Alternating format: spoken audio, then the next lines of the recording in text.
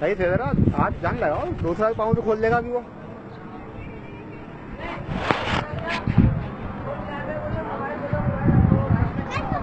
ये अभी देख दूसरा पाँव बाहर आ जाएगा आ गया। दबा दो दूसरा पाँव इसका। निकाल देगा अभी तो आप दबाओगे ना। भी भी दबा लो दबा लो।